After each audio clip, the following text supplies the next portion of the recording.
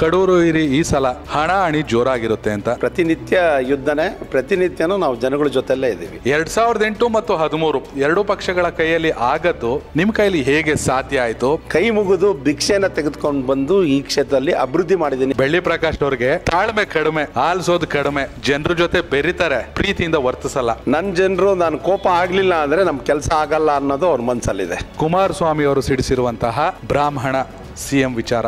No comments ಈ ಸಲ ಎಷ್ಟು ಸೀಟನ್ನು ಗೆಲ್ತೀವಿ ಅನ್ನೋ ಕಾನ್ಫಿಡೆನ್ಸ್ ಸರ್? ಮತ್ತೊಮ್ಮೆ ಭಾರತೀಯ ಜನತಾ ಪಕ್ಷದ ನೇತೃತ್ವದ ಸರ್ಕಾರ ಕರ್ನಾಟಕದಲ್ಲಿ ಆಗುತ್ತೆ ಅನ್ನುವಂಥ ವಿಶ್ವಾಸ ನನಗಿದೆ. ಸ್ವಂತ ಬಲದಲ್ಲಿ ಅಧಿಕಾರಕ್ಕೆ ಹೋಗಬೇಕಂದ್ರೆ ಈ ರಾಜ್ಯದಲ್ಲಿ ಒಂದು ಸಂಚಲನವನ್ನು ಉಂಟು ಮಾಡುತ್ತೆ. ಮತ್ತು ನಿಮ್ಮ ಕನಸಿನ ಕಡೂರು ಇನ್ನು ಯಾವ ಮಟ್ಟದಲ್ಲಿ ಬದಲಾಗಬೇಕು? ಒಬ್ಬ ಶಾಸಕನಾಗಿ ಏನೆಲ್ಲ ಕೆಲಸವನ್ನ ಮಾಡಬಹುದು ಅನ್ನುವಂಥ ಒಂದು ಕಲ್ಪನೆನ ಜನರು ಮನಸ್ಸಲ್ಲಿ ಮೂಡಿಸಿದ್ದೀನಿ. ಕಳೆದ ಐದು ವರ್ಷಗಳ ಅವಧಿಯಲ್ಲಿ ನೀವು ಮಾಡಿರೋ ಕೆಲಸದ ಬಗ್ಗೆ ತೃಪ್ತಿ ಇದೆಯಾ? ಥರ ಎಲ್ಲವನ್ನೂ ಲಾಭದಾಯಕವಾಗಿ ನೋಡಿದರೆ ಯಾವುದೂ ನಮಗೆ ಸಿಗಲ್ಲ ಅನ್ನುವಂಥದ್ದು ಸತ್ಯನೂ ಸಹಿತ ನಮ್ಮ ಯುವಕರು ತಿಳ್ಕೊಬೇಕು. ರಾಜಕೀಯಕ್ಕೆ ಬರಬೇಕು ಅನ್ನೋ ನೆಕ್ಸ್ಟ್ ಜನರೇಷನ್ ಯುವ ಸಮುದಾಯಕ್ಕೆ ಯಾವ ಸಂದೇಶ ಕೊಡೋಕ್ಕೆ ಇಷ್ಟಪಡ್ತೀರಾ? ಯಾರೊಬ್ಬರು ನಾನು ಉತ್ತಮವಾದಂಥ ರಾಜಕಾರಣಿ ಆಗ್ತೀನಿ ಅನ್ನುವಂಥ ಹೇಳುವಂಥ ಸಂಖ್ಯೆ ಇಲ್ಲ. ಕಾಂಗ್ರೆಸ್ ಮತ್ತು ಜೆ ಡಿ ಎಸ್ ಅಲ್ಲಿರುವಂಥ ಟಿಕೆಟ್ ಗೊಂದಲ ಈ ಸಲ ನಿಮ್ಗೆ ಎಷ್ಟು ಪ್ಲಸ್ ಆಗುತ್ತೆ? ನಾನು ಈ ಚುನಾವಣೆನ ಸಮರ್ಪಕವಾಗಿ ಎದುರಿಸ್ತೀನಿ ಮತ್ತು ನಿಭಾಯಿಸ್ತೀನಿ ಮತ್ತು ಭಾರತೀಯ ಜನತಾ ಪಕ್ಷದ ಮಡಿಲಿಗೆ ಈ ಕ್ಷೇತ್ರವನ್ನು ಹಾಕ್ತೀನಿ ಅನ್ನುವಂಥ ಆತ್ಮವಿಶ್ವಾಸ ನನಗಿದೆ.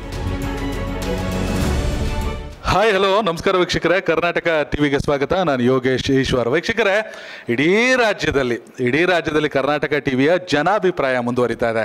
ನಾವು ಪ್ರತಿ ತಿಂಗಳು ಅಕ್ಟೋಬರ್, ನವೆಂಬರ್, ಡಿಸೆಂಬರ್, ಜನವರಿ ನಾಲ್ಕು ತಿಂಗಳ ಟ್ರೆಂಡ್ ಏನಾಗ್ಬೋದು ರಾಜ್ಯದಲ್ಲಿ ಈ ಬಾರಿ ಅನ್ನೋ ಟ್ರೆಂಡನ್ನು ಕೊಡ್ತಾ ಇದ್ದೀವಿ ಸರ್ವೆ ಮಾಡ್ತಾ ಇದ್ದೀವಿ ಇದೀಗ ಪ್ರತಿ ಕ್ಷೇತ್ರಗಳಿಗೆ ಹೋಗಿ ಅಲ್ಲಿನ ಜನರ ಅಭಿಪ್ರಾಯ, ಕಾರ್ಯಕರ್ತರದಲ್ಲ, ಜನರ ಅಭಿಪ್ರಾಯವನ್ನು ಜನರ ಮಧ್ಯೆ ಹೋಗಿ ಮಾತಾಡಿಸ್ತಾ ಇದ್ದೀವಿ ಇವತ್ತಿನ ದಿನ ಚಿಕ್ಕಮಗಳೂರು ಜಿಲ್ಲೆಯ ಕಡೂರು ವಿಧಾನಸಭಾ ಕ್ಷೇತ್ರ.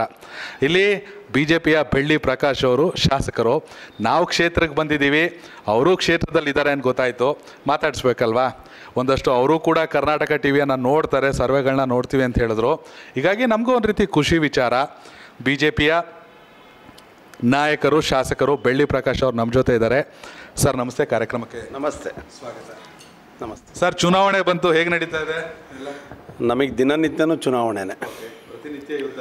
ಪ್ರತಿನಿತ್ಯ ಯು ಪ್ರತಿನಿತ್ಯ ಯುದ್ಧನೇ ಪ್ರತಿನಿತ್ಯನೂ ನಾವು ಜನಗಳ ಜೊತೆಲ್ಲೇ ಇದ್ದೀವಿ. ಈ ಬಾರಿ ಚುನಾವಣೆ ಕಡೂರಿಗೊಂದು ರೀತಿ ವಿಶೇಷ. ಅದು ಜನರ ಬಾಯಲ್ಲಿ ಬರ್ತಿರೋ ಮಾತು ರಾಜಕೀಯ ವಲಯದಲ್ಲಿ ಬರ್ತಿರೋ ಮಾತು ಇಲ್ಲಿ ಸತ್ಯ ನಿಮಗೆ ಗೊತ್ತಿರುತ್ತೆ. ನಾವು ಬೆಂಗಳೂರಲ್ಲಿ ಕೂತ್ಕೊಂಡು ನೋಡಿದಾಗ ವೈ ಎಸ್ ವಿ ದತ್ತ ಅವ್ರು ಕಾಂಗ್ರೆಸ್ಗೆ ಹೋಗೋರೆ. ಟಿಕೆಟ್ ಸಿಗುತ್ತಾ ಅಲ್ವಾ ಇನ್ನೂ ಗೊತ್ತಿಲ್ಲ. ಒಂದಷ್ಟು ಚರ್ಚೆಗಳು ಕಡೂರು ಇರಿ ಈ ಸಲ ಒಂದು ರೀತಿ ಹಣ ಹಣಿ ಜೋರಾಗಿರುತ್ತೆ ಅಂತ ನಿಮಗೇನು ಅನಿಸುತ್ತೆ ಎರಡು ಸಾವಿರದ ಹದಿಮೂರರ ಫಲಿತಾಂಶ ಮರುಕಳಿಸಲ್ಲ. ಎರಡು ಸಾವಿರದ ಹದಿನೆಂಟರಲ್ಲಿ ಏನು ಫಲಿತಾಂಶ ಬಂದಿದೆಯೋ ಅದು ಎರಡು ಸಾವಿರದ ಇಪ್ಪತ್ತ್ಮೂರರಲ್ಲಿ ಭಾರತೀಯ ಜನತಾ ಪಕ್ಷ ಮತ್ತೊಮ್ಮೆ ಕಡೂರಿನಲ್ಲಿ ಅತ್ಯಂತ ಹೆಚ್ಚಿನ ಮತಗಳೊಂದಿಗೆ ಗೆಲುವನ್ನು ಸಾಧಿಸುತ್ತೆ ಅನ್ನುವಂಥದ್ದನ್ನು ನಾನು ಹೇಳೋದಕ್ಕೆ ಇಷ್ಟಪಡ್ತೇನೆ. ನಾವು ನಿಮ್ಮ ರಾಜಕೀಯ ಅನುಭವಕ್ಕೂ ನಮಗೂ ತುಂಬಾ ಅಜಗಜಾಂತರ ವ್ಯತ್ಯಾಸ ಇರುತ್ತೆ. ಕಡೂರು ವಿಧಾನಸಭಾ ಕ್ಷೇತ್ರವನ್ನು ಕಳೆದ ಮೂರು ಚುನಾವಣೆ, ಎಂಟು, ಹದಿಮೂರು, ಹದಿನೆಂಟರ ಚುನಾವಣೆ ನೋಡಿದ್ರೆ ಮೂರು ಪಕ್ಷಗಳಿಗೆ ಮತದಾರರು ಒಲವನ್ನು ವ್ಯಕ್ತಪಡಿಸಿದ್ದಾರೆ. ಎರಡು ಸಾವಿರದ ಎಂಟರಲ್ಲಿ ಕಾಂಗ್ರೆಸ್ಸು, ನಂತರ ಜೆ ಡಿ ಎಸ್ಸು, ನಂತರ ಬಿ ಜೆ ಪಿ. ಆದರೆ ಬಿ ಜೆ ಪಿ ಭದ್ರವಾಗಿ ಬೇರೂರಿದೆ. ಜನರು ಮಾತಾಡ್ತಾ ಇರೋದು. ಅಭಿವೃದ್ಧಿ ಕೆಲಸಗಳು, ಮತ್ತೊಂದಷ್ಟು ನೀರಾವರಿ ಯೋಜನೆಗಳು. ಇದ್ರ ಬಗ್ಗೆ ಹಳ್ಳಿ ಹಳ್ಳಿಯಲ್ಲಿ ಜನ ಮಾತಾಡ್ತಿದ್ದಾರೆ. ಎರಡು ಸಾವಿರದ ಎಂಟು ಮತ್ತು ಹದಿಮೂರು ಎರಡೂ ಪಕ್ಷಗಳ ಕೈಯಲ್ಲಿ ಆಗದ್ದು ನಿಮ್ಮ ಕೈಯಲ್ಲಿ ಹೇಗೆ ಸಾಧ್ಯ ಆಯಿತು? ಯಾವ ಉದ್ದೇಶವನ್ನು ಇಟ್ಕೊಂಡು ಎರಡು ಸಾವಿರದ ಹದಿನೆಂಟರಲ್ಲಿ ಜನರ ಮುಂದೆ ಹೋಗಿದ್ರಿ? ಅದನ್ನ ರೀಚ್ ಆಗಿದ್ದೀರಾ? ನಾವು ಎರಡು ಸಾವಿರದ ಹದಿನೆಂಟರಲ್ಲಿ ನಾವು ಮುಖ್ಯವಾಗಿ ನಮ್ಮ ಕಡೂರಿನ ಸ್ಥಳೀಯ ಪ್ರಣಾಳಿಕೆ ನೀರು, ಸೂರು, ಟಾರು. ನಾವು ನೀರು, ಸೂರು, ಟಾರನ್ನು ಜನಗಳಿಗೆ ಒದಗಿಸುವಲ್ಲಿ ಅತ್ಯಂತ ಯಶಸ್ವಿಯಾಗಿದ್ದೀವಿ ಅನ್ನುವಂಥದ್ದನ್ನು ನಾನು ಈ ಸಂದರ್ಭದಲ್ಲಿ ಹೇಳೋಕ್ಕೆ ಇಷ್ಟಪಡ್ತೇನೆ. ನೀರು ಅನ್ನುವಂಥದ್ದು ವಿಚಾರ ಬಂದರೆ ನಮ್ಮ ನಾಯಕರಾದಂಥ ಸನ್ಮಾನ್ಯ ಯಡಿಯೂರಪ್ಪನವರ ಮುಖ್ಯಮಂತ್ರಿ ಆದಂಥ ಸಂದರ್ಭದಲ್ಲಿ ಸಾವಿರದ ಇನ್ನೂರ ಎಂಬತ್ತೊಂದು ಕೋಟಿ ಹಣವನ್ನು ಭದ್ರಾ ಉಪಕಣಿವೆ ಯೋಜನೆಗೆ ಒದಗಿಸಿಕೊಡೋದ್ರ ಮೂಲಕ. ಈಗಾಗಲೇ ಮೊದಲನೇ ಹಂತದ ಕಾಮಗಾರಿ ಕಡೂರಿನ ವಿಧಾನಸಭಾ ಕ್ಷೇತ್ರವನ್ನು ಅದು ಮುಟ್ಟಿದ್ದು. ಎರಡನೇ ಹಂತದ ಮುನ್ನೂರು ಚಿಲ್ಲರೆ ಕೋಟಿ ಕಾಮಗಾರಿಯ ಟೆಂಡರ್ ಮೊನ್ನೆ ಆಗಿದೆ. ಟೆಂಡರ್ ಅಮೃತ್ ಕನ್ಸ್ಟ್ರಕ್ಷನ್ ಅವರಿಗೆ ಆಗಿದೆ. ಇನ್ನು ಎರಡು ವರ್ಷದಲ್ಲಿ ಇಡೀ ಕಡೂರಿನ ಸುಮಾರು ಕೆರೆಗಳಿಗೆ ನೀರನ್ನು ಒದಗಿಸುವಂಥ ಕಾರ್ಯವನ್ನು ಮಾಡುವಂಥದ್ರ ಮೂಲಕ, ಅಂತರ್ಜಲವನ್ನು ಹೆಚ್ಚಿಸುವಂಥದ್ದನ್ನು ಮಾಡುವಂಥ ಕಾರ್ಯಕ್ಕೆ ಚಾಲನೆನ ಕೊಟ್ಟಿರುವಂಥದ್ದು ಹಾಗೂ ಮತ್ತು ಈ ವಿಶ್ವೇಶ್ವರಯ್ಯ ಜಲ ನಿಗಮದ ವತಿಯಿಂದ ಸುಮಾರು ಇಪ್ಪತ್ತೊಂದು ಚೆಕ್ ಡ್ಯಾಮ್ಗಳನ್ನು ನಿರ್ಮಾಣ ಮಾಡಿರುವಂಥದ್ದು ನಿರ್ಮಾಣ ಮಾಡಿರುವಂಥ ಎಲ್ಲ ಚೆಕ್ ಡ್ಯಾಮ್ಗಳಲ್ಲಿ ಸಾಕಷ್ಟು ನೀರನ್ನು ಅದು ಸಂಗ್ರಹ ಆಗಿದ್ದು, ಆ ಸುತ್ತಮುತ್ತಲಿನ ರೈತರ ಮುಖದಲ್ಲಿ ಸಂತೋಷವನ್ನು ನೋಡುವಂಥದ್ದು ಮತ್ತು ಅಂತರ್ಜಲ ಅಭಿವೃದ್ಧಿ ಆಗಿರೋದಕ್ಕೆ ನಮ್ಮ ಎಲ್ಲ ಬೋರ್ವೆಲ್ಗಳಲ್ಲಿ ಮೇಲಿನ ಅಂದರೆ ನೂರು ಅಡಿ ಅಲ್ಲೇ ಸಾಕಷ್ಟು ನೀರುಗಳು ಇರುವಂಥದ್ದು ಗಮನಿಸ್ಬೋದು. ಈ ನಾಲ್ಕು ವರ್ಷ ಒಂಬತ್ತು ತಿಂಗಳು ಅವಧಿ, ಹತ್ತು ತಿಂಗಳಾಗಿದೆ. ಈ ಇದರಲ್ಲಿ ಎರಡು ವರ್ಷ ಕೊರೋನಾನ ನಾವು ಕಳೆದ್ರೆ. ಇನ್ನು ಉಳಿದ ಅವಧಿಯಲ್ಲಿ ನನ್ನ ಕ್ಷೇತ್ರಕ್ಕೆ ನಾನು ಕ್ಷೇತ್ರದಲ್ಲಿ ಕೇವಲ ಮದುವೆ, ಮುಂಜಿ, ಹೊಸ್ಗೆ, ಧಾರ್ಮಿಕ ಕಾರ್ಯಕ್ರಮವನ್ನು ಮಾಡದಲೇ ಬೆಂಗಳೂರಿನಲ್ಲಿ ಸಂಬಂಧಪಟ್ಟ ಇಲಾಖೆ, ಸಂಬಂಧಪಟ್ಟ ಅಧಿಕಾರಿಗಳು, ಸಂಬಂಧಪಟ್ಟ ಮಂತ್ರಿಗಳು ಮತ್ತು ಮುಖ್ಯಮಂತ್ರಿಗಳಿಗೆ ಕೈ ಮುಗಿದು ಭಿಕ್ಷೆನ ತೆಗೆದುಕೊಂಡು ಬಂದು ಈ ಕ್ಷೇತ್ರದಲ್ಲಿ ಅಭಿವೃದ್ಧಿ ಮಾಡಿದ್ದೀನಿ ಅನ್ನುವಂಥದ್ದನ್ನು ಹೇಳೋದಕ್ಕೆ ನಾನು ಇಷ್ಟಪಡ್ತೇನೆ. ಮತ್ತೊಂದು ಕಡೆ, ಕ್ಷೇತ್ರದಲ್ಲಿ ಬೆಳಗ್ಗೆಯಿಂದ ನಾವು ತುಂಬ ಜನನ ಮಾತಾಡ್ಸಿರುವಾಗ ಒಂದಷ್ಟು ಪ್ಲಸ್ ಪಾಯಿಂಟ್ಸು ಇದೆ, ಒಂದಷ್ಟು ಮೈನಸ್ ಪಾಯಿಂಟ್ಸು ಇದೆ. ಪ್ಲಸ್ ಇದೆ ಅಂತ ಹಿಗ್ಬಾರ್ದು ಮೈನಸ್ ಇದೆ ಅಂತ ಕುಗ್ಗಬಾರ್ದು ಎಲ್ಲೆಲ್ಲಿ ತಪ್ಪಿದೆ ಅದನ್ನ ಸರಿ ಮಾಡ್ಕೊಂಡು ಹೋಗಬೇಕು. ಪ್ಲಸ್ ಪಾಯಿಂಟ್ ಅಂದರೆ ಲಿಂಗಾಯತ ಸಮುದಾಯ ಅತಿ ದೊಡ್ಡದು. ಆದರೆ ಬೆಳ್ಳಿ ಪ್ರಕಾಶ್ ಅವರು ಎಲ್ಲ ಸಮುದಾಯದವರ ಪರವಾಗಿ ಎಲ್ಲ ಸಮುದಾಯದ ಜೊತೆಗೆ ಎಲ್ಲ ಸಮುದಾಯಕ್ಕೆ ಯಾವ್ಯಾವ ಕೆಲಸಗಳಾಗಬೇಕು, ಅಲ್ಲೊಂದಷ್ಟು ಜನ ಲಂಬಾಣಿಗಳು ಸಿಕ್ಕಿದ್ರು. ಲಂಬಾಣಿ ಸಮುದಾಯದವರು. ನಮ್ಮ ಕ್ಷೇ, ನಮ್ಮ, ನಮಗೆ ದೇವಸ್ಥಾನ ಮಾಡಿಕೊಟ್ಟಿದ್ದಾರೆ. ಇದು ಪ್ಲಸ್ ಪಾಯಿಂಟು ಮೊದಲು ಪ್ಲಸ್ ಪಾಯಿಂಟ್ ಬಗ್ಗೆ ಹೇಳೋದಾದರೆ ಎಲ್ಲರ ಜೊತೆ ಬೆರೆಯೋಕ್ಕೆ ಹೇಗೆ ಸಾಧ್ಯ ಆಗ್ತಿತ್ತು? ಅಲ್ಲ, ನಾನೊಬ್ಬ ವಿದ್ಯಾರ್ಥಿ ಜೀವನದ ವಿದ್ಯಾರ್ಥಿ ನಾಯಕನಾಗಿ ಬಂದವನು. ನಾನು ನನ್ನ ವಿದ್ಯಾರ್ಥಿ ಜೀವನದಲ್ಲಿ ಎಲ್ಲರನ್ನೂ ಸಮನಾಗಿ ತೆಗೆದುಕೊಂಡು ಹೋಗುವಂಥದ್ದನ್ನು ಪರಿಪಾಠ ಮಾಡ್ಕೊಂಡಿದ್ದೆ. ಅದೇ ಒಂದು ಪ್ರವೃತ್ತಿ ನನ್ನ ಕ್ಷೇತ್ರದಲ್ಲೂ ಸಹಿತ ನಾನು ಮಾಡಿದ್ದೀನಿ. ಎಲ್ಲ ಜನಾಂಗದವರನ್ನು ಗೌರವಿಸಿದ್ದೀನಿ. ಎಲ್ಲ ಜನಾಂಗದ ಊರುಗಳಿಗೂ ನನ್ನ ಕೈಲಾದಂಥ ಸೇವೆನ ಮಾಡಿದ್ದೀನಿ. ಎಲ್ಲ ಧರ್ಮಗಳನ್ನು ಗೌರವಿಸಿದ್ದೀನಿ. ಎಲ್ಲ ಧರ್ಮಗಳಿಗೂ ನನ್ನ ಕೆಲಸ ಮಾಡಿಕೊಟ್ಟಿದ್ದೀನಿ ಅನ್ನೋವಂಥದ್ದು ನನಗೆ ಆತ್ಮತೃಪ್ತಿ ಇದೆ. ಒಂದಷ್ಟು ಮೈನಸ್ ಅಂದರೆ ಬೆಳ್ಳಿ ಪ್ರಕಾಶ್ ಅವ್ರಿಗೆ ಸ್ವಲ್ಪ ತಾಳ್ಮೆ ಕಡಿಮೆ, ಆಲಿಸೋದು ಕಡಿಮೆ. ಜನರ ಜೊತೆ ಬೆರೀತಾರೆ. ಆದರೆ ಜನರ ಜೊತೆ ಪ್ರೀತಿಯಿಂದ ವರ್ತಿಸಲ್ಲ. ಅವ್ರ ಸುತ್ತಮುತ್ತ ಇರೋರು ಮಾತಾಡ್ತಾರೆ. ಏನೇ ಒಂದು ಹೇಳಿದ್ರು ಬೈದು ಹೇಳ್ಬಿಡ್ತಾರೆ ಪ್ರೀತಿಯಿಂದ ಹೇಳಲ್ಲ. ಅವ್ರ ಕೋಪ ಕಡಿಮೆ ಮಾಡ್ಕೊಂಡ್ರೆ ನಮಗೂ ಅವ್ರ ಬಳಿ ಹೋಗೋಕೆ ಖುಷಿ ಅಂತ ತುಂಬ ಜನ ಮಾತಾಡಿದ್ದಾರೆ. ಇಂಟ್ರೂ ನೋಡೋಕೆ ಮುಂಚೆ ಸಾಕಷ್ಟು ವೀಡಿಯೋ ಅಪ್ಲೋಡ್ ಆಗಿದೆ. ಆಮೇಲೆ ನಾನಿಲ್ಲಿ ಬಂದ್ಬಿಟ್ಟು ಅವ್ರನ್ನ ಬರೀ ಹೊಗಳ್ಬಿಟ್ಟು ಹೋಗ್ಬಿಟ್ರೆ ಜನ ತಪ್ಪು ತಿಳ್ಕೊತಾರೆ. ಓ, ಎಲ್ಲ ಬಿ ಜೆ ಪಿ ಪರವಾಗಿ ಮಾಡ್ತಾವ್ರೆ, ಎಲ್ಲ ಕ್ಷೇತ್ರದಲ್ಲೂ ಅಂತ. ಫಸ್ಟ್ ಆ ವೀಡಿಯೋಸ್ ನೋಡ್ಬಿಟ್ಟು ಜನ ಏನು ಮಾತಾಡಿದ್ದಾರೆ ಪ್ಲಸ್ ಮೈನಸ್ ನೋಡಿ, ಆಮೇಲೆ ಕಾಮೆಂಟ್ಸ್ ಹಾಕಿ. ಏನು ಹೇಳ್ತೀರಾ ಸರ್, ಯಾಕೆ ಜಾಸ್ತಿ ಕೋಪ? ಅಲ್ಲ ನಾವು ಬೆಳೆದು ಬಂದ ರೀತಿ ಹಂಗಿದೆ. ಆದರೆ ನಾನು ಯಾವ ರೀತಿ ಕೋಪ ಮಾಡ್ಕೊತೀನಿ ಅನ್ನೋದು ನನ್ನ ಜನರಿಗೆ ಗೊತ್ತಿದೆ. ನನ್ನ ಜನರು ನಾನು ಕೋಪ ಆಗಲಿಲ್ಲ ಅಂದರೆ ನಮ್ಮ ಕೆಲಸ ಆಗಲ್ಲ ಅನ್ನೋದು ಅವ್ರ ಮನಸ್ಸಲ್ಲಿದೆ ನಾನು ಕೋಪ ಮಾಡ್ಕೊಂಡ್ರೆ ಅವ್ರ ಕೆಲಸ ನೂರಕ್ಕೆ ನೂರು ಭಾಗ ಆಗುತ್ತೆ ಅನ್ನೋವಂಥದ್ದು. ಕೋಪ ಅಂದರೆ ನಾನೇನು ಯಾರು ಅವರಿಗೆ ಯಾವುದೇ ಥರವಾದಂಥ ಏನು ಈ ಅವ್ಯಾಚ ಪದಗಳಿಂದ ಬೈಯೋಂಥದ್ದೇನು ನಾನು ರೂಢಿ ಮಾಡ್ಕೊಂಡಿಲ್ಲ. ಕೋಪದಲ್ಲಿ ಹೇಳ್ತೀನಿ, ಕೆಲಸ ಆಗಂಗಿದ್ರೆ ಕೆಲಸ ಆಗುತ್ತೆ ಅಂತ ಹೇಳ್ತೀನಿ. ಕೆಲಸ ಆಗಲ್ಲ ಅಂದರೆ ನನ್ನ ಕೈಯಲ್ಲಿ ಆಗಲ್ಲಪ್ಪ, ದಯಮಾಡಿ ಕ್ಷಮಿಸಿ ಅಂತ ಹೇಳ್ತೀನಿ. ಈ ವಿಚಾರ ನಮ್ಮ ಜನಕ್ಕೆ ಸುಳ್ಳು ಹೇಳಿದರೆ ನಾನು ಭಾಳ ಇಷ್ಟಪಡ್ತಾರೆ. ಈ ನಮ್ಮ ಇವತ್ತಿನ ಪ್ರಪಂಚ ಸುಳ್ಳಿಗೆ ಭಾಳಷ್ಟು ಗೌರವ ಕೊಡುತ್ತೆ. ಸತ್ಯ ಹೇಳಿದರೆ ಅವ್ರನ್ನ ಸ್ವಲ್ಪ ನೇರವಾಗಿ ಹೇಳ್ಬಿಟ್ರಪ್ಪ ಅಂತಾರೆ.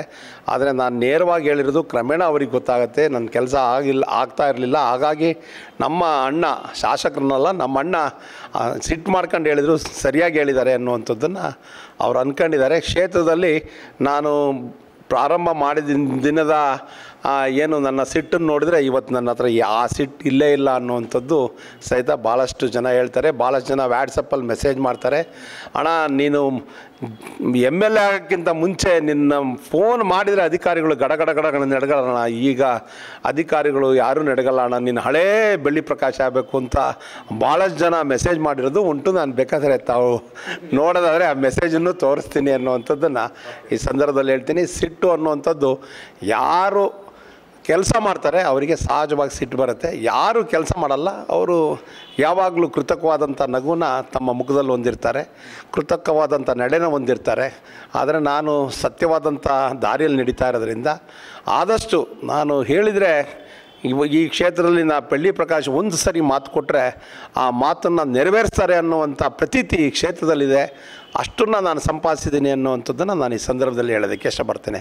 ನಾನು ಪರ್ಟಿಕ್ಯುಲರಾಗಿ ಸಾರಿ ನಾನು ಮಾತಾಡ್ತೀನಿ ಪರ್ಟಿಕ್ಯುಲರಾಗಿ ಈ ಪ್ರಶ್ನೆ ಯಾಕೆ ಕೇಳಿದೆ ಅಂದರೆ, ಜನ ಅಭಿವೃದ್ಧಿ ಕೆಲಸ ಮಾಡಿಲ್ಲ ಅಂದರೂ ಸಹಿಸ್ತಾರೆ.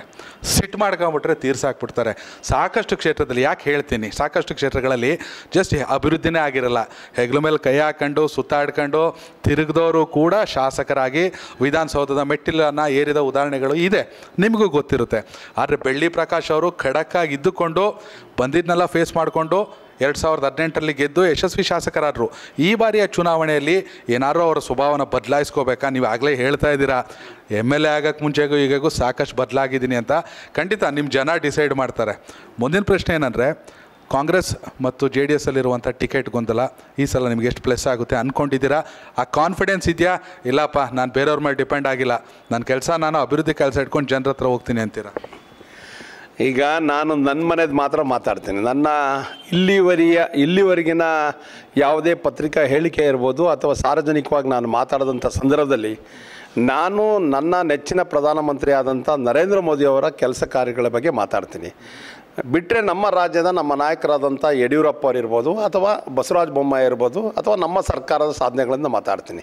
ಬಿಟ್ಟರೆ ನಾನೇನೆಲ್ಲ ಮಾಡೋದಕ್ಕೆ ಸಾಧ್ಯ ಇದೆ ಅದನ್ನು ಮಾಡುವಂಥದ್ದು ಬೆಳ್ಳಿ ಬಳಗದ ವತಿಯಿಂದ ಮಾಡ್ಕೊಂಬಂದಿದ್ದೀವಿ ಹೊರತು ನಾನು ವಿರೋಧ ಪಕ್ಷವನ್ನು ಕಠೋರವಾಗಿ ಟೀಕಿಸುವಂಥದ್ದು ವಿರೋಧ ಪಕ್ಷದ ಅವರ ಬಗ್ಗೆ ಇಲ್ಲ ಸಲ್ಲದ ಪ್ರಚಾರವನ್ನು ಮಾಡುವಂಥದ್ದು ನಾನು ಪರಿಪಾಠವನ್ನು ಇಟ್ಕೊಂಡಿಲ್ಲ. ನನ್ನ ಯಾವುದೇ, ಇಲ್ಲಿವರೆಗೆ ಯಾವುದೇ ಪತ್ರಿಕೆ ಹೇಳಿಕೆ ಇರ್ಬೋದು, ಮಾಧ್ಯಮದ ಮುಂದಿರ್ಬೋದು ನಾನು ನಮ್ಮ ವಿರೋಧ ಪಕ್ಷ, ನನ್ನ ಸತ್, ಸನ್ಮಿತ್ರರನ್ನು ಉದ್ದೇಶಿಸಿ ಯಾವುದೇ ಥರವಾದಂಥ ಆರೋಪನೂ ಮಾಡುವುದಕ್ಕೆ ಹೋಗಲ್ಲ. ನನ್ನ ಕೆಲಸ ಏನಿದೆ ನನ್ನ ಕೆಲಸ ಮಾಡ್ಕೊಂಡು ಇದ್ದೇನೆ.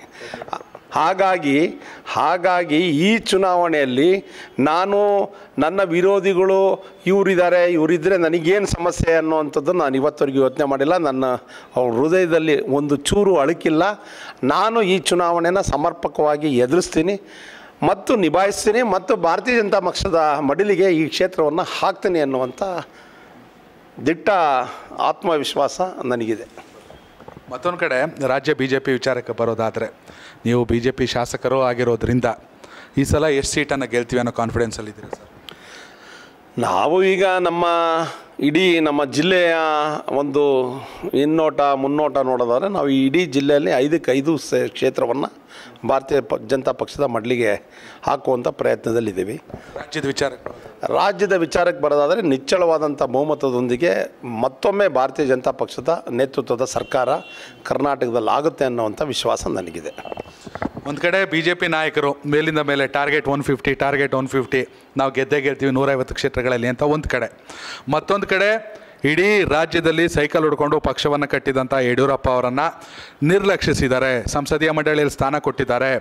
ಕೇವಲ ವಿಜಯೇಂದ್ರ ಅವರನ್ನು ಮಿನಿಸ್ಟ್ರು ಮಾಡಬೇಕಾಗುತ್ತೆ ಅನ್ನೋ ಕಾರಣಕ್ಕೆ ಸಂಪುಟ ವಿಸ್ತರಣೆ ಆಗಲಿಲ್ಲ. ಹೀಗಾಗಿ ಒಂದಷ್ಟು ಜನರಿಗೆ ಪಾರ್ಟಿಯಲ್ಲೇ ಅಸಮಾಧಾನ ಇದೆ ಅನ್ನೋ ಮಾತುಗಳು ಕೂಡ ಕೇಳಿ ಬರ್ತಾ ಇದೆ.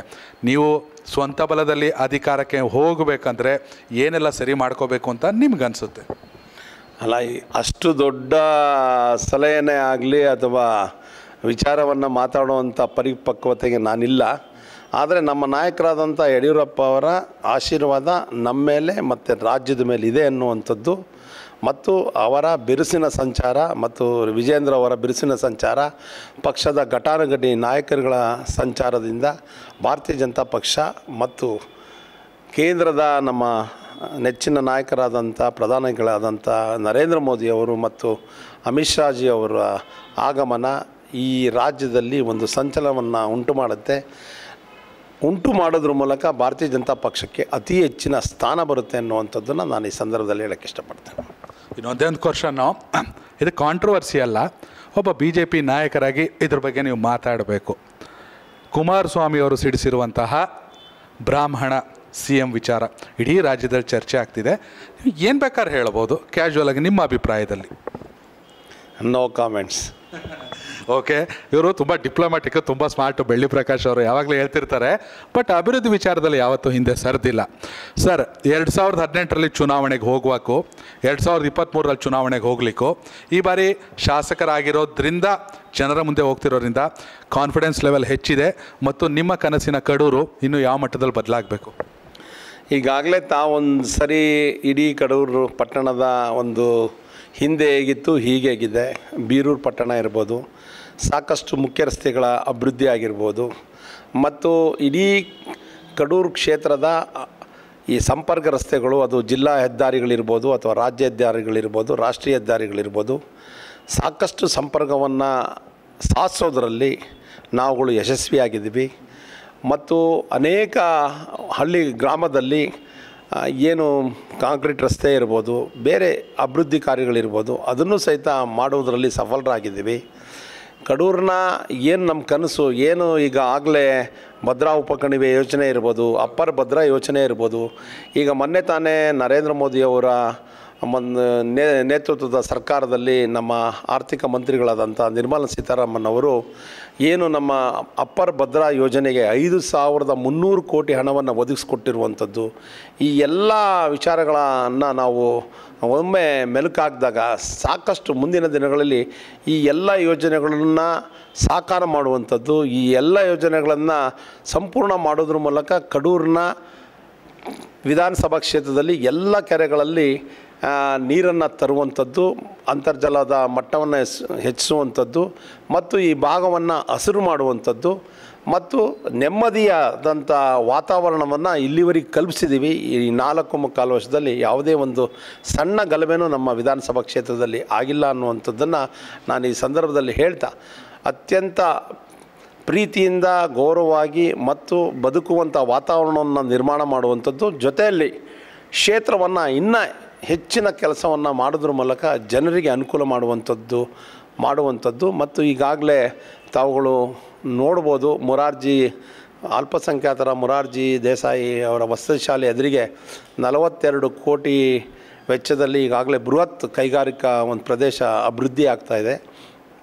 ಆ ಅಭಿವೃದ್ಧಿ ಆಗುವಂಥ ಪ್ರದೇಶ ಈಗಾಗಲೇ ಇನ್ನೊಂದು ಆರರಿಂದ ಎಂಟು ತಿಂಗಳೊಳಗೆ ಅದು ಕಂಪ್ಲೀಟು ಆಗುತ್ತೆ. ಆದಂಥ ಸಂದರ್ಭದಲ್ಲಿ ಮುಂದಿನ ದಿನಗಳಲ್ಲಿ ಸರ್ಕಾರದ ಮನವೊಲಿಸಿ ದೊಡ್ಡ ದೊಡ್ಡ ಉದ್ಯಮಗಳನ್ನು ಕಡೂರಿಗೆ ತರುವುದ್ರ ಮೂಲಕ ಕಡೂರು ವಿಧಾನಸಭಾ ಕ್ಷೇತ್ರ ಮತ್ತು ಸುತ್ತಮುತ್ತಲಿನ ಕ್ಷೇತ್ರಗಳ ನಮ್ಮ ಮಧ್ಯಮ ವರ್ಗ ಮತ್ತು ಮಧ್ಯಮ ವರ್ಗದ ಕೆಳವರ್ಗದವರಿಗೆ ಅವರ ಮನೆಯಲ್ಲಿ ಉದ್ಯೋಗವನ್ನು ನಿರ್ಮಾಣ ಮಾಡುವಂಥದ್ದನ್ನು ಮಾಡುವಂಥದ್ದು.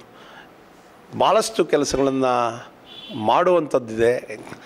ಅವಕಾಶ ಆದ ನಂತರ ಮುಂದೆ ತಾವುಗಳು ಬಂದಾಗ, ತಾವು ಬಂದಾಗ ತಾವು ಕಡೂರು ಪಟ್ಟಣವನ್ನು ನೋಡಿದಾಗ ತಾವು ಸಹಿತ ಇದ್ರ ಬಗ್ಗೆ ಮೆಚ್ಚುಗೆ ಮಾತನ್ನು ಆಡ್ತೀನ ಅನ್ನುವಂಥದ್ದನ್ನು ನಾನು ಈ ಸಂದರ್ಭದಲ್ಲಿ ಹೇಳೋದಕ್ಕೆ ಇಷ್ಟಪಡ್ತೇನೆ. ಮತ್ತೊಂದು ಕಡೆ ತುಂಬ ಜನ ಹೇಳಿದ್ದು ಸಚಿವರಾಗಿ, ಸಚಿವ ಸ್ಥಾನಕ್ಕಿಂತ ಹೆಚ್ಚಾಗಿ ಮಾಡುವ ಕೆಲಸವನ್ನು ಶಾಸಕರಾಗಿ ಅಪೆಕ್ಸ್ ಬ್ಯಾಂಕ್ಸ್ ಅಧ್ಯಕ್ಷರಾಗಿ ಬೆಳ್ಳಿ ಪ್ರಕಾಶ್ ಅವರು ಕ್ಷೇತ್ರದಲ್ಲಿ ಮಾಡಿದ್ದಾರೆ. ಅವ್ರಿಗೆ ಮಿನಿಸ್ಟ್ರಿ ಪೋಸ್ಟ್ ಸಿಕ್ಕಿದ್ರೂ ಇಷ್ಟು ಕೆಲಸ ಆಗ್ತಿತ್ತೇನೋ ಗೊತ್ತಿಲ್ಲ. ಅದಕ್ಕಿಂತ ಹೆಚ್ಚಾಗಿ ಅಪೆಕ್ಸ್ ಬ್ಯಾಂಕ್ಸ್ ಅಧ್ಯಕ್ಷರಾಗಿ ಮಾಡಿದ್ರು. ಇದು ಜನ ಮಾತಾಡ್ತಾ ಇರೋದು. ಅಪೆಕ್ಸ್ ಬ್ಯಾಂಕಿನ ಅಧ್ಯಕ್ಷನಾಗಿ ಸರ್ಕಾರ, ರಾಜ್ಯ ಸರ್ಕಾರ ಏನು ಗುರಿಯನ್ನು ಕೊಟ್ಟಿದೆ, ಇಪ್ಪತ್ತು ಸಾವಿರ ಕೋಟಿ, ಮೂವತ್ತು ಲಕ್ಷ ರೈತರಿಗೆ ಸಾಲವನ್ನು ಕೆ ಸಿ ಸಿ ಸಾಲವನ್ನು ಏನು ಕೊಡುವಂಥ ಕಾರ್ಯಕ್ರಮ ಏನಿದೆ, ಆ ಕಾರ್ಯಕ್ರಮದಲ್ಲಿ ಯಶಸ್ವಿಯಾಗಿದ್ದೀವಿ. ನಿನ್ನೆ ತಾನೇ ನಮ್ಮ ಸಹಕಾರ ಸಚಿವರು ಸಹಿತ ಹೇಳಿದ್ದಾರೆ, ಏನು ನಾವು ಗುರಿಯನ್ನು ನಿಗದಿಪಡಿಸಿದ್ವಿ, ಆ ಗುರಿನ ನಾವು ಮುಟ್ಟಿದ್ದೀವಿ ಎನ್ನುವಂಥದ್ದು. ಮತ್ತು ಕಳೆದ ಎರಡು ವರ್ಷಗಳಲ್ಲಿ ಏಳ್ನೂರ ನಲವತ್ತೆಂಟು ಕೋಟಿ ಲಾಭ ಮಾಡೋದ್ರ ಮೂಲಕ. ಬ್ಯಾಂಕಿನ ಉತ್ತಮ ದರ್ಜೆಯಲ್ಲಿಡುವಂಥ ಪ್ರಯತ್ನವನ್ನು ಮಾಡಿದ್ದೀವಿ. ಈ ಬಾರಿ ಸುಮಾರು ಆರುನೂರು ಕೋಟಿ ಲಾಭದ ನಿರೀಕ್ಷೆಯಲ್ಲಿದ್ದೀವಿ. ಅಪೆಕ್ಸ್ ಬ್ಯಾಂಕಿನ ಅಧ್ಯಕ್ಷನಾಗಿ ರಾಜ್ಯದ ಇಪ್ಪತ್ತೊಂದು ಸಹಕಾರ ಕೇಂದ್ರ ಬ್ಯಾಂಕುಗಳ ಯೋಗಕ್ಷೇಮವನ್ನು ನೋಡುವುದರಂಥದ್ದನ್ನು ನಾನು ಮಾಡಿದ್ದೀನಿ ಅನ್ನುವಂಥ ಆತ್ಮತೃಪ್ತಿ ನನಗಿದೆ.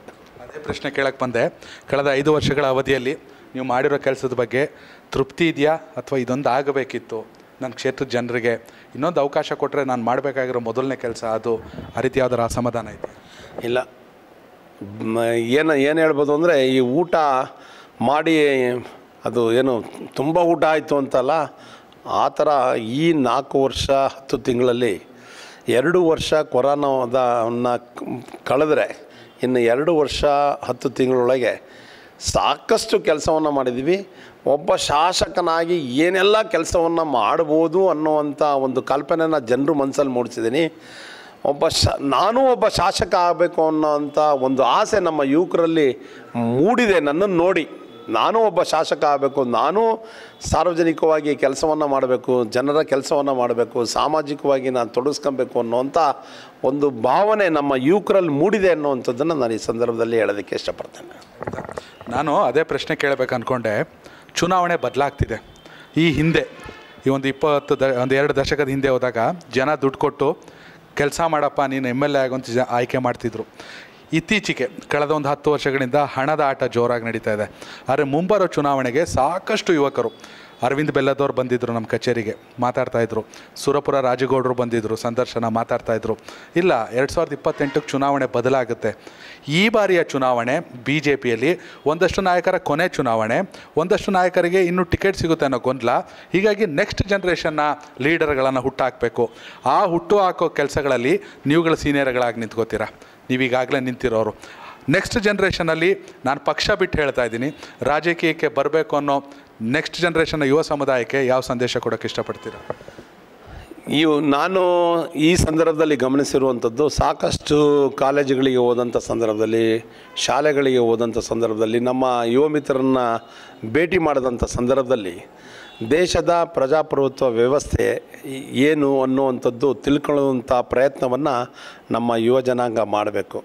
ನಮ್ಮ ಯುವ ಜನಾಂಗ ಪ್ರಜಾಪ್ರಭುತ್ವದ ವ್ಯವಸ್ಥೆನ ಇನ್ನು ಅರಿಯುವುದರಲ್ಲೇ ಇದ್ದಾರೆ ಅನ್ನುವಂಥದ್ದು, ನನಗೆಲ್ಲೋ ಒಂದು ಕೊರಗಿದೆ ಅನ್ನುವಂಥದ್ದನ್ನು ನಾನು ಈ ಸಂದರ್ಭದಲ್ಲಿ ಹೇಳೋಕ್ಕೆ ಇಷ್ಟಪಡ್ತೇನೆ.